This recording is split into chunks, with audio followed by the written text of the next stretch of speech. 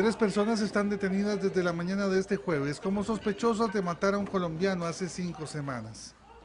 En allanamientos hechos en Guásimo, Siquirres, Limón y el Centro Penal de Pocosí, se dio con los sospechosos y evidencia del crimen.